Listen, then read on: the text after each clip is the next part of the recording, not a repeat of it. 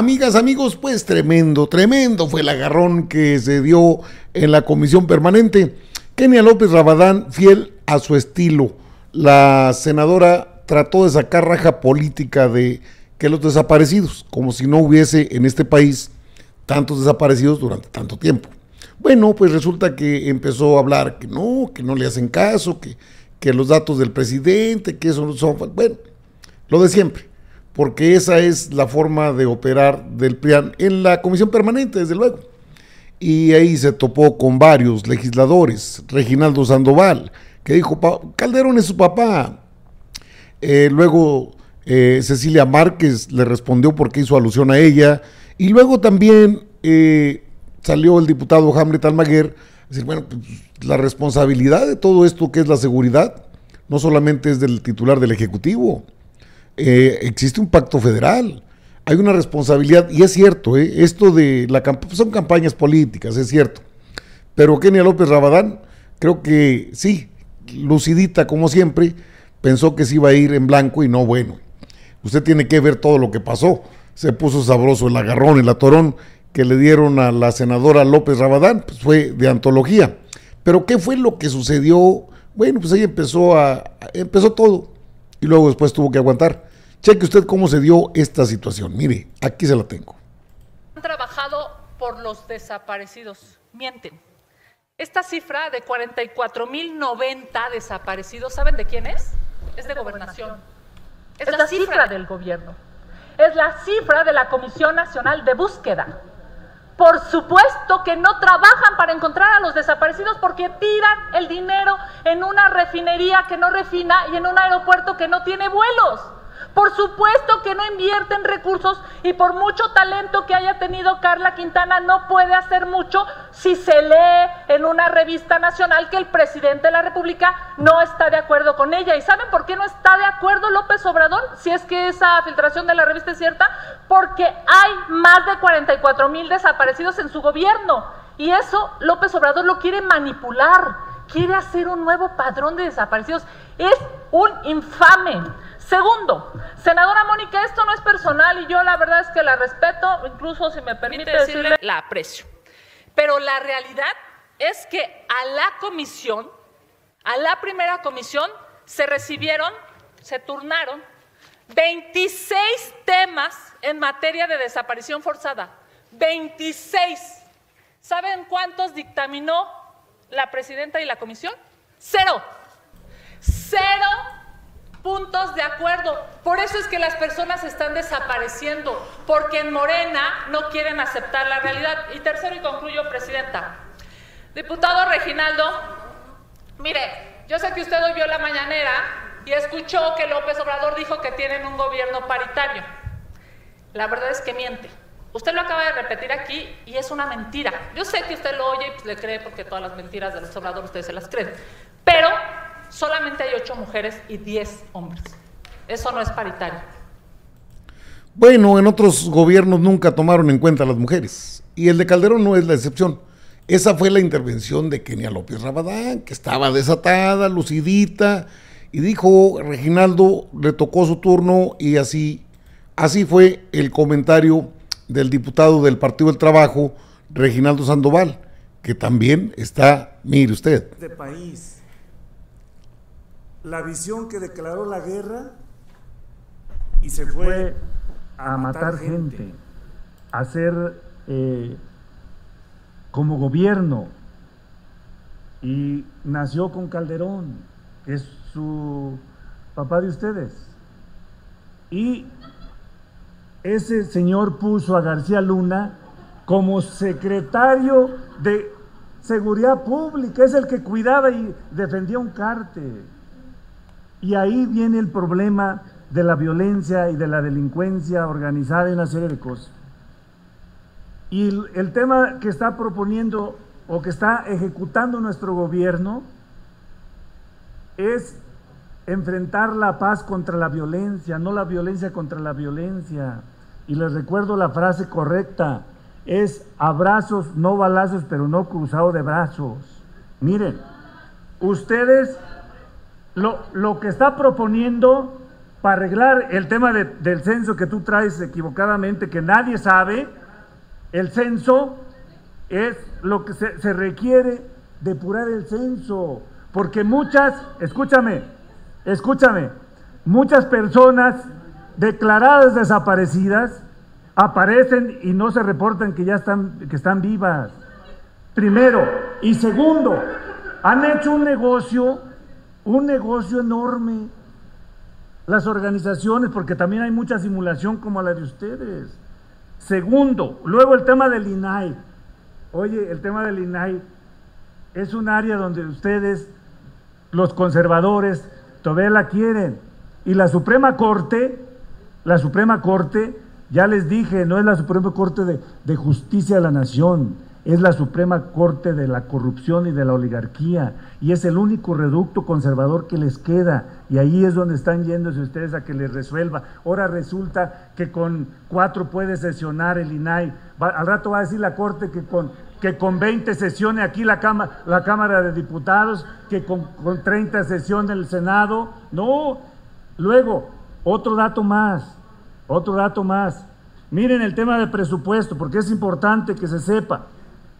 En el 2018, el presupuesto que se dedicaba para encontrar personas desaparecidas era de 6 millones 823 mil. No tienen vergüenza. En este momento se, se usan 1.234 millones. Se creció 16 mil por ciento. Luego, la crisis, la crisis forense, la crisis forense pues no es de ahora. La crisis forense la traemos desde con Calderón o quizás más atrás. Ese es un problema porque ustedes ni siquiera empadronaban a las personas desaparecidas, ni siquiera atendían. Y ahora se dedican todos los días, por la mañana, una sesión, una reunión de seguridad pública a nivel nacional y una en cada estado.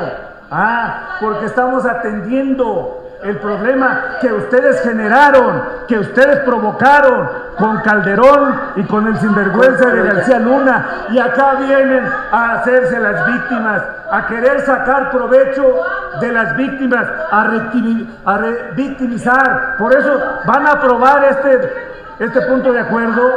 Pues no hagan eso, no ridiculicen a las personas, no usen para su...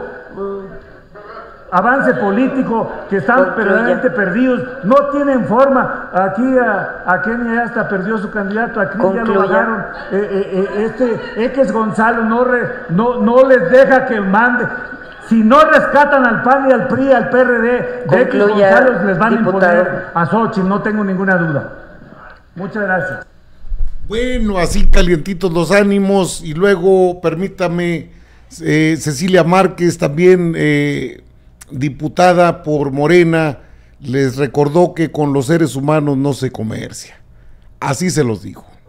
soy capaz de pedir disculpas por no haber utilizado palabras adecuadas, pero hay gobiernos asesinos que todavía aún no piden disculpas por niños, por madres y por cientos de desaparecidos que ustedes asesinaron con un programa de rápido y furioso porque son necrófilos de la política, porque viven a costillas de las tragedias y porque son capaces de mostrar solidaridad con quienes tienen de verdad este dolor.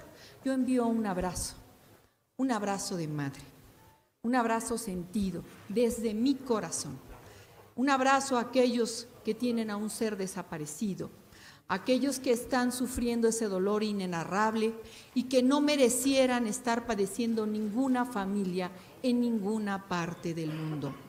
Un abrazo de verdad, solidario, y que ojalá pudiera yo emitir alguna palabra de consuelo a aquellos que no encuentran consuelo nunca, porque aunque encontraran el ser vivo o muerto, ese dolor y esa desesperación jamás se borra, porque es un horror, un horror que nunca a nadie se le debería de desear.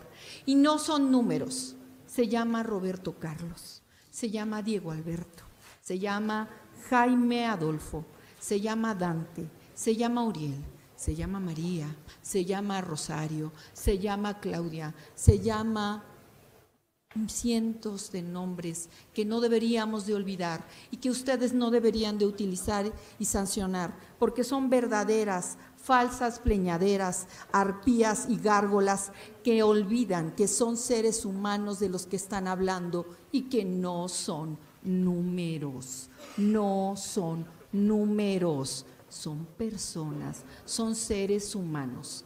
Por favor, tengan respeto ante el dolor. No vivan de la política. Y si nunca visitan su municipio, ¿cómo diablos vas a ver lo que está pasando? Así se puso el tema, le digo que hay, un, hay una parte que no, ha quedado muy clara, lo puedo entender.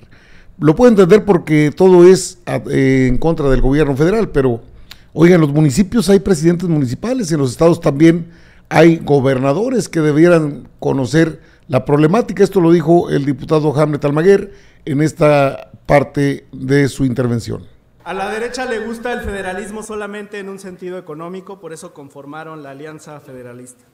Pero eso les olvida que el federalismo también implica que los gobernadores de los estados tienen una responsabilidad en la garantía de la seguridad dentro de sus entidades federativas.